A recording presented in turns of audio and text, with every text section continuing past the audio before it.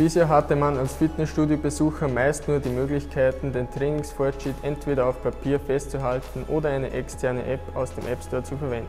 Während das Dokumentieren auf Papier zwar den Vorteil hat, dass man den Zettel problemlos an die besonderen Bedürfnisse anpassen kann, besteht die Gefahr, eben jene Aufzeichnungen eventuell zu Hause zu vergessen.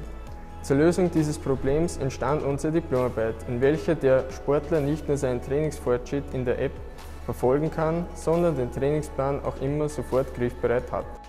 TrainMe wurde in Zusammenarbeit mit dem Fitnessstudio Proaktiv4D in Adnang-Buchheim entwickelt und bietet die Möglichkeit, das Trainingserlebnis auf den individuellen Kontext eines jeden Kunden zuschneiden zu können. Trainer können nun ganz einfach über eine Administrationsoberfläche Trainingspläne für ihre Kunden erstellen und bearbeiten.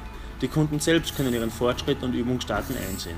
Im April wurde das System mit vollem Funktionsumfang im Fitnessstudio Proaktiv 4D in Adnang-Buchheim implementiert. Die Kunden sind seither in der Lage, die App ausführlich zu testen und ihre Funktionen in ihr persönliches Training zu integrieren. In Zukunft wollen wir weiter an dem Projekt arbeiten und weitere Funktionen hinzufügen. Eine praktische Funktion, die wir in Zukunft einbinden wollen, ist es dem User zu ermöglichen, die App ohne Fitnessstudio-Anbindung benutzen zu können.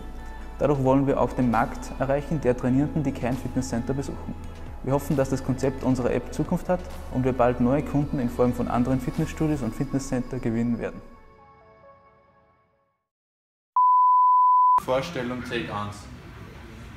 Mein Name ist Tim Safragic und meine Aufgabe war es, die App für Android bzw. iOS zu machen, die es den Usern ermöglicht, seinen Trainingsfortschritt und Trainingsverlauf anzusehen. Also das war jetzt einmal der Punkt, wo du angefangen hast. Mein Name ist Alexander Bitterbach.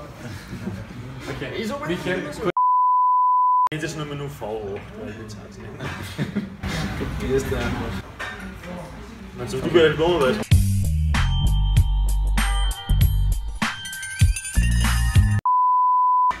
Mein Name ist Tim Safragic und meine Aufgabe war es, die App für Android und iOS zu programmieren.